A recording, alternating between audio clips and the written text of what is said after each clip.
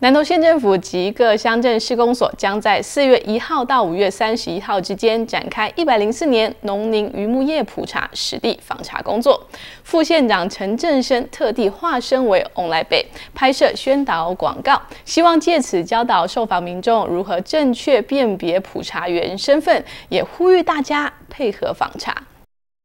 听到会心声，共同起来。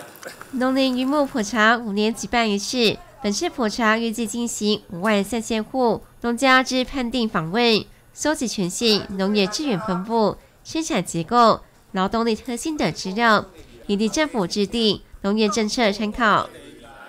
各位乡亲，大家好！五年一次的农林渔牧业普查工作，即将在四月一号到五月三十一号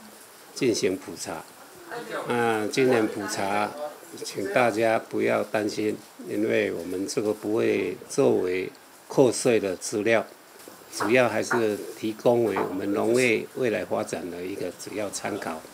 所以，请农民以及我们相关的行业，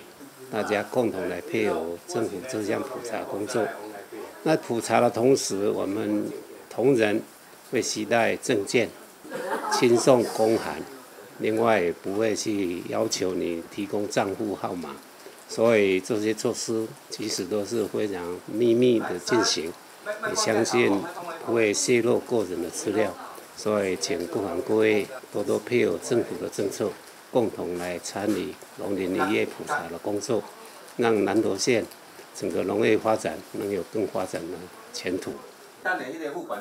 主计处统计科长王和慧指出。普查员除了已接受完整训练，也将落实“三不加二会”原则，请民众放心接受普查。这一次我们南投县政府办的农林渔牧业普查，主要询问的内容是想要了解农民的生产状况，所以呢，它的问项会有：诶，各农民在一零四年整个农作物种植的情形是如何？那所花费的成本啊，像是有没有使用有机肥料啊、农药，我们都会做一个询问。另外呢，为了了解农家人口的消长情形，我们也会对家中的人口吼做一个了解，看家中诶从事务农的哈人口到底有多少。那那有多少人是从事非农业的情形？希望各位农民能够支持，提供详实的资料哈，让政府能够有正确的资料，做出好有利于农民发展的政策。